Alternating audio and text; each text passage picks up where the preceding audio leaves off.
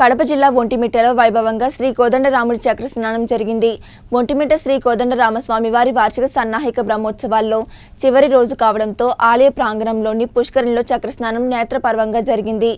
విశేష సంఖ్యలో భక్తులు పాల్గొని పుణ్యస్నానాలు ఆచరించారు. ఈ సందర్భంగా ఆలయంలో ప్రత్యేక కార్యక్రమాలు నిర్వహించారు. ముందుగా ఉదయం నాలుగు గంటలకు సుప్రభాతంతో స్వామివారిని మేల్కొల్పి ఆలయ శుద్ధి ఆరాధన నిర్వహించారు. ఉదయం ఎనిమిది గంటల ముప్పై నిమిషాలకు శ్రీ లక్ష్మణ సమేత సీతారాములు వారు తిరుచిలో సుదర్శన చక్ర తల్వర్ పల్లకిలో ఊరేగింపుగా పుష్కరుని వద్దకు వేంచేశారు. అనంతరం ఉదయం తొమ్మిది గంటల నుండి పది గంటల ముప్పై నిమిషాల వరకు స్వామి అమ్మవార్ల ఉత్సవ మూర్తులకు స్వప్న తిరుమంజనం వేడుకగా నిర్వహించారు. ఇందులో సీతారామ లక్ష్మణ సరసన చక్ర తల్వార్లు పాలు పెరుగు తేనె పసుపు చందనములతో అభిషేకాలు అందుకుని ప్రసన్నులయ్యారు. అనంతరం అర్చకులు వేద మంత్రోచ్చారణ నడుమ శాస్త్రోతుకంగా చక్రస్నానం నిర్వహించారు.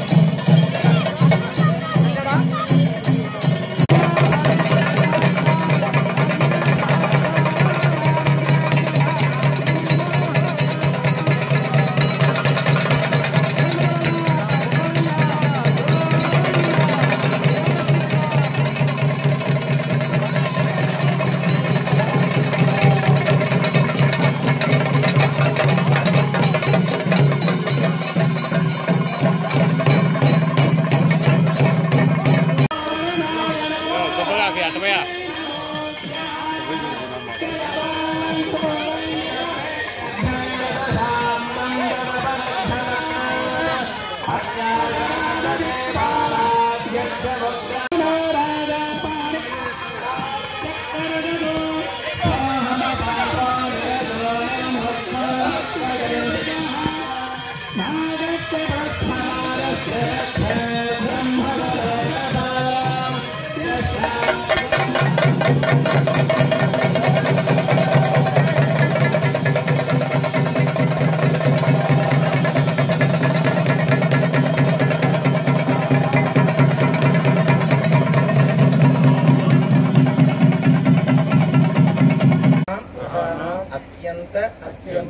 अतिशय अतिशय फल फल अवाप्ति अवाप्ति द्वारा द्वारा